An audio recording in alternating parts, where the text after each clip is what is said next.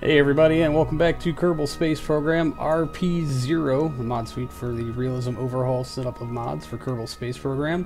And last episode I told you we weren't going to the moon, and I totally lied, because it turned out that the burn window was like right on top of our orbital insertion. Uh, we are nine minutes away from the node, looking at a five minute burn time, which, oh, I'm gonna, yeah. Alright. so we're just going to try to get it set up here. Sorry it's not much to look at, but it literally was right after our launch window. We were launching, arcing into the night. So, oh, no connection. Uh-oh. We might have to wait in orbit.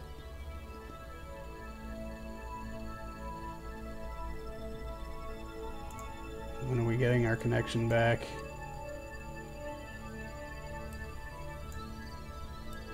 There's our node. Those might be below the horizon. We're kind of in a dead zone currently, and most of these satellites we're running on batteries that are now completely depleted. We are within one minute. Oh, we have connection. I totally overdid it again. Ah, vapor feed lines. I just wasted an ignition. Good thing we'll only need one more, and we have three left. Very stable, risky, risky, very stable. Peg it. Light is good, and we are on our way. 3,100 meter per second burn. Oh yeah, we got two grand here. We got 2858 here. So we are looking pretty good, especially since we are going to use all of our spare hydrazine here to move us swiftly along to there our beautiful moon. Yeah, we're deviating. Damn it. Come on.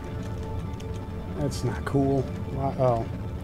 Let's turn stability control on. Maybe that'll help things along just a little bit. Alright. Back on course. How much of this stuff we got? 16 liters of hydrazine. We can just go ahead and stand on this pedal.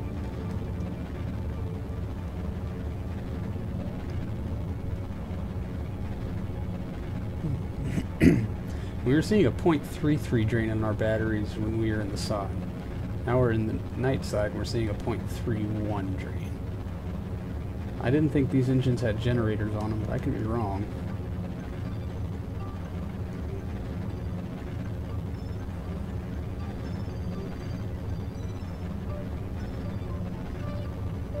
This doesn't make me feel good either my next stage not fuel? Did that fuel burn off?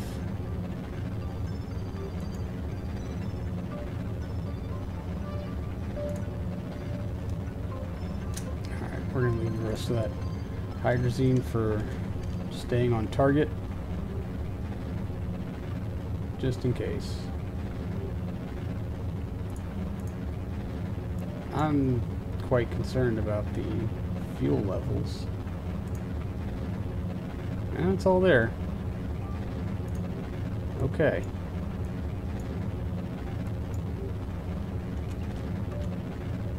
Trying again to stay on target.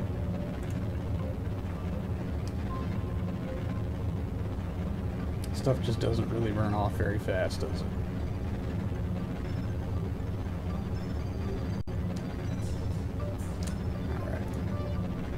That should be good.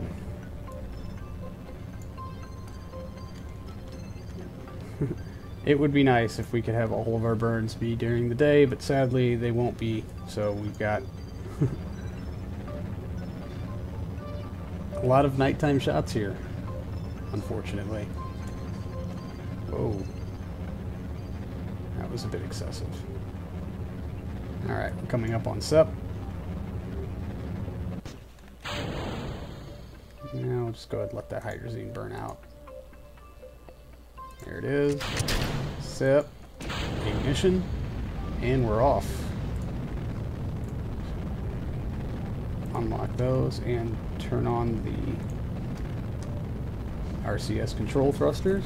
Alright. 1,000 meters to second to go and more than 2,700 in the tank.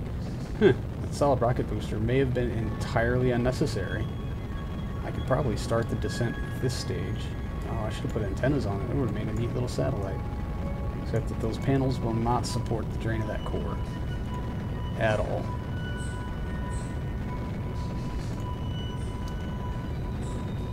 And yeah, I did put a lot of hydrazine in this, so we can just go ahead and try to dump some of it out. I'm sure we're going to have to make a correction burn because I am never, never very accurate with any of these.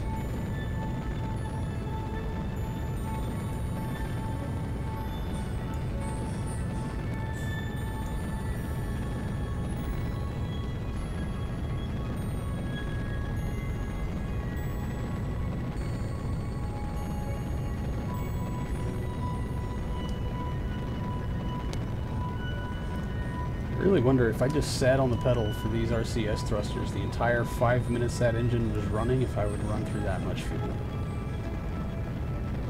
Well, they're supposed to be there for ullage and correction, because this stage, with the solid rocket motor, needs this stage to orient it exactly before it fires.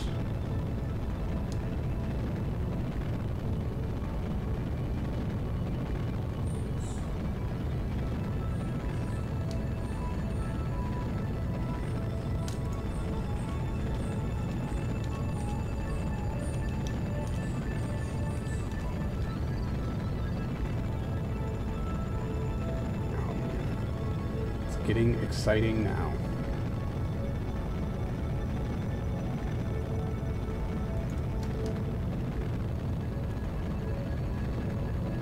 Three hundred meters per second to go. Yeah, I totally overshot that node, so undoubtedly gonna need a correction.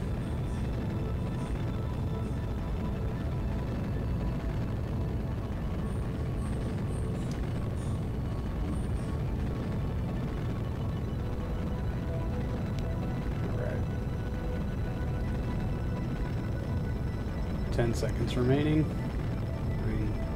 Uh, that finger ready. Four, three, two, one. Shut down. 9.9 meters per second. Whoa, oh, I'm in docking mode. Of course I'm in docking mode. I'm always in docking mode.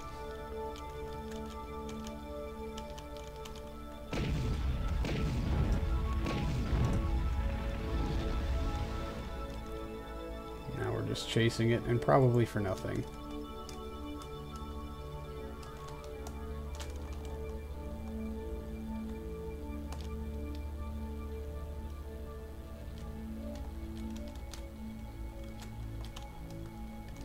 Alright.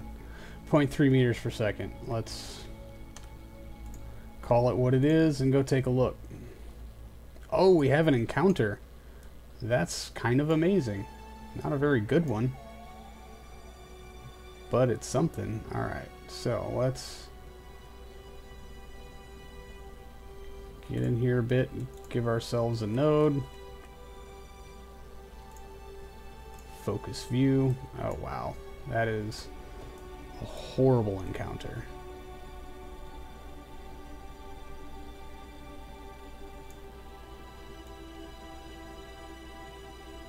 That's much. I kind of. I probably want to come in on the other side. Just to make sure that I have a connection. Wow, that just misses, apparently.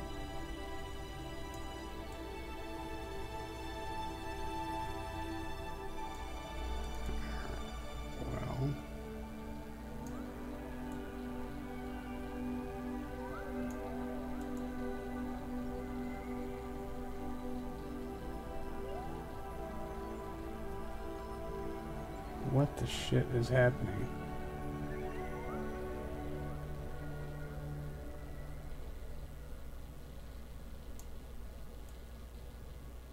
Okay, I went the wrong way with that. Sorry. Whoop.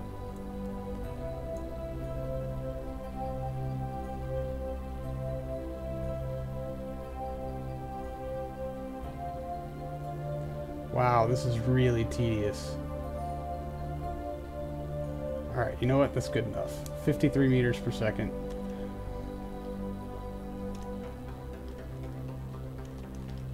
We're just going to go ahead and try to do this. Let's see what happens. Bring it in, bring it in, bring it in.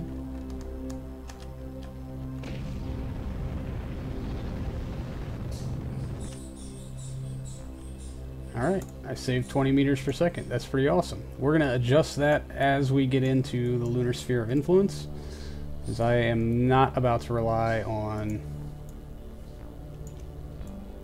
uh, anything really. What we are going to do, however, is... Well, that was dumb. we are going to time warp into the sun and get some light on this thing.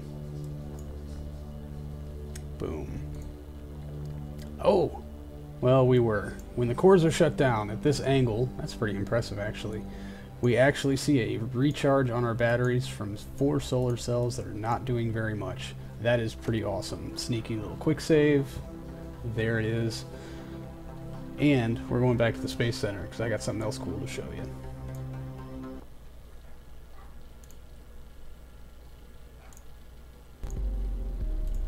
And here it is we are about four days away from a launch window to Venus. So I have, well, a while ago actually, I ordered construction of a couple more RA-8Ds. You're pretty familiar with this launcher at this point. We've used it a whole lot. But with a real tiny light cargo like this Ranger Mark 1 that I have, I'm very confident that this thing is capable of going interplanetary. Uh, the probe is pretty new design. Uh, we've got a new higher yield dish uh, that I don't know if it's going to give us range out to Venus. This is a flight that I will probably be relying a lot on Flight Computer to uh, plot out and execute for me. Uh, this is a super light probe and will hopefully be capable of doing a good flyby of Venus and maybe even another flyby to Mars. So uh, that's what we're going to be launching into in our next episode. Uh, until then, uh, thanks for tolerating a completely nighttime flight with me. Greatly appreciated. Until then, I will see you later.